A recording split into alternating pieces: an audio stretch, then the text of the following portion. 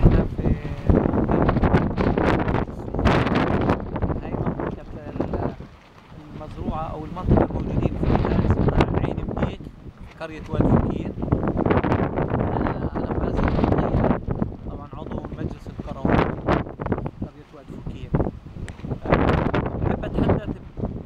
مهمة كأهل قرية وقرية زراعية المشكلة آه، طبعا عندنا من ال 86 96 2006 عفوا 2007 كانت هاي المشكلة بدت في الأشهر الأخيرة أو الشهر الماضي. آه، كانت المشكلة آه، باستمرار إنه تنفتح مياه العادمة ومياه المجاري من مستوطنة بطار على الأراضي الزراعية. حاب أوضح شغلة بالنسبة لأنه شغلات انذكرت بالإعلام سابقا عن واد فوكين وكأن ولأنه واد فوكين آه، قرية زراعية هي آه، طبعا بتصدر كل الخضار أو سلة الخضار وقراها فكان عندنا شيء سلبي من الإعلام اللي حضر علشان إحنا نوصل قضيتنا إنه الناس تخوفوا من موضوع إنه التلوث. طبعا التلوث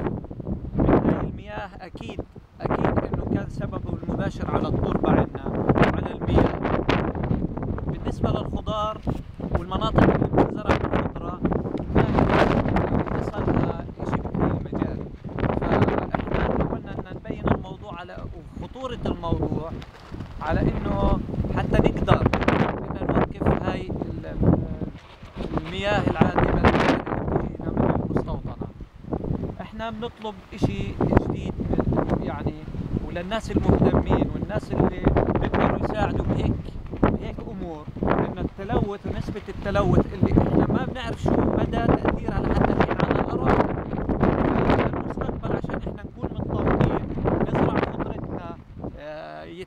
الناس تشتغل بأراضيها وهي مرتاحة ناكل من الخضرة وإحنا مرتاحين بدنا نعرف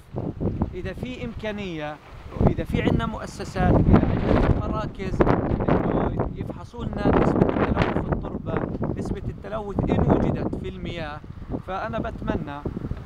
إنه يكون في آه، حدا مسؤول إنه يقدر يوفر لنا هاي الفحوصات الضرورية جدا. لنا كمزارعين في آه، أنا بتمنى انه يكون هذا إذا كان في توجه واهتمام لهاي الأمور بخصوص الفحوصات إذا في مراكز خاصة إنها تقدم لنا المساعدة بالتعاون مع المجلس القروي بنحب إنه يكون في فحص دوري عندنا للتربة وللمياه فإذا في إذا أمكن إنه هاي المراكز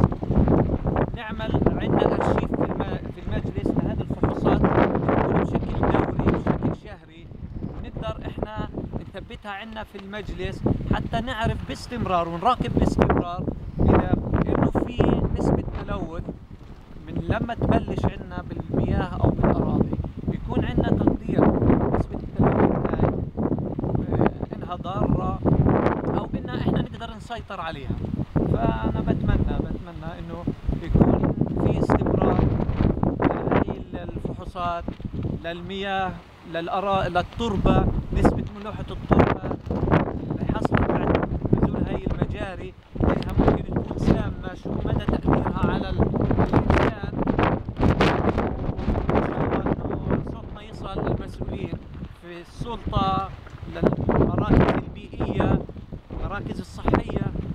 المعنيين واللي بيقدروا يقدموا لنا أي إفادة.